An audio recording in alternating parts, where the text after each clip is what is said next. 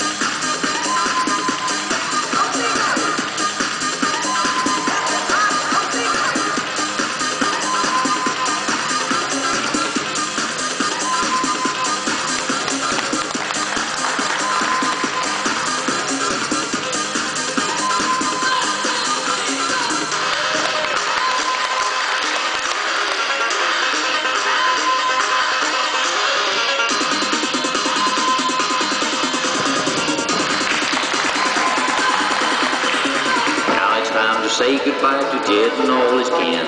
They would like to thank you folks for kindly dropping in.